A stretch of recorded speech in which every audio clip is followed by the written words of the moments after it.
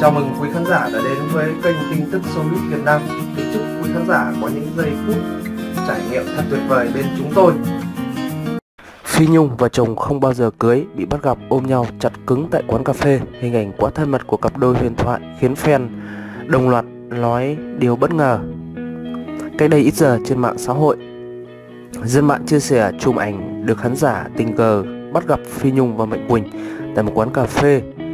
Hai nghệ sĩ liên tục có những cử chỉ cực tình cảm khi ngồi trò chuyện cùng nhau. Phi Nhung thậm chí không ngại sửa sang tóc tai quần áo cho người tình sân khấu, còn Mạnh Quỳnh cũng chủ động quàng vai ôm thân mật Phi Nhung. Hình ảnh ngọt ngào chẳng kém một cặp đôi thực sự khiến fan của hai người suýt xoa. Đa số người hâm mộ đều để lại bình luận dưới bài đăng rằng cả hai quá đẹp đôi và ủng hộ mối tình này. Hết mình, một số khác lại tiếc nuối cho mối tình không bao giờ cưới này. Phi Nhung và Mạnh Quỳnh là đôi song ca huyền thoại được yêu thích trên sân khấu và ngoài đời. Họ cũng là tri kỷ thân thiết suốt hai thập niên qua, thậm chí vì quá ăn ý và thỉnh thoảng cũng thả thính nhau để làm vui lòng khán giả. Mạnh Quỳnh và Phi Nhung còn bị đồn là vợ chồng. Từng có thời gian Mạnh Quỳnh bị đồn chính là người cha giấu mặt của con gái Phi Nhung bởi cho tại đến thời điểm này nữ ca sĩ vẫn chưa hề công bố chính xác ai là bố của con gái mình. Tuy nhiên, Phi Nhung từng chia sẻ rất thẳng thắn về người cha của con gái cô. Nữ ca sĩ khẳng định rằng cha của Wendy không phải là Mạnh Quỳnh. Nếu Wendy mà là con của Mạnh Quỳnh thì cô sẽ sở hữu gương mặt xinh hơn bây giờ nhiều. Phi Nhung dí dỏm chia sẻ thêm. Phi Nhung cho biết rằng cha ruột của Wendy là một người đàn ông tốt bụng hiền lành. Trong khi đó, Mạnh Quỳnh khẳng định anh và Phi Nhung rất thân thiết nhưng mối quan hệ này chỉ dừng lại ở tình bạn, tình tri kỷ do quá hiểu nhau và diễn quan ý nên hai người không thể yêu nhau ngoài đời thật. Nếu giả sử có lời sinh tình cảm thì chắc chắn Mạnh Quỳnh sẽ rất ngượng ngùng, mất tự nhiên khi làm những hành động lắm tay, ôm ấp Phi Nhung trước khán giả.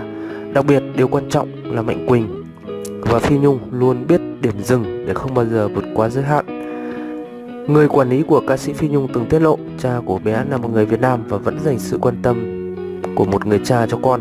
Phi Nhung luôn nói với con rằng mẹ không có cơ hội có được cha và được cha quan tâm, nhưng con thì phải có.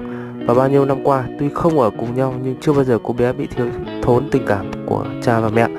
Còn về chu cấp kinh tế thì Phi Nhung chưa bao giờ cần đến điều đó vì cô ấy đủ sức để lo cho con gái. Tôi chỉ có thể nói được chừng ấy thôi và đây là lần đầu tiên tôi đồng ý chia sẻ với phóng viên. Về phía Mạnh Quỳnh, nam ca sĩ kết hôn vào năm 2004 và hiện đã có hai con trai. Ít người biết chính Phi Nhung đã xe duyên cho anh và người vợ hiện tại. Dù thường xuyên về Việt Nam biểu diễn nhưng khán giả ít khi thấy Mạnh Quỳnh đưa con và vợ về nước cùng mình. Lý giải cho việc này, Mạnh Quỳnh chia sẻ anh chỉ đưa vợ con về nước vào các dịp nghỉ hè, nghỉ lễ để thăm gia đình, bà con họ hàng ở quê hương. Bà xã không muốn tôi bị vướng bận gia đình, sợ tôi vất vả khi vừa đi hát vừa phải lo cho những người đi cùng.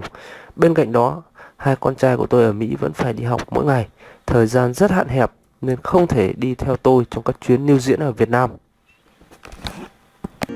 Cảm ơn quý khán giả đã theo dõi video clip.